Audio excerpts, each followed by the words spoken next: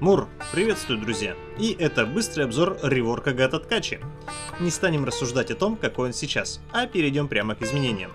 Пассивку не поменяли. А что в ней менять, если она и так отличная? Первый навык.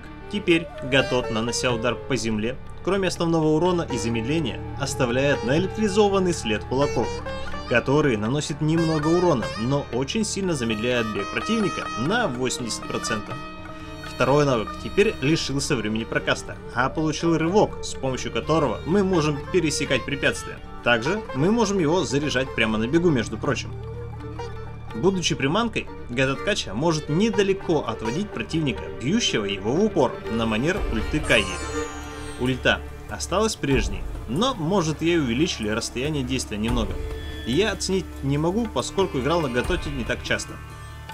Я считаю, это позволит войти Гатоту в мету, но грядет масштабное изменение предметов, поэтому поживем увидим. Делитесь видео и ставьте лапки. Всем пока!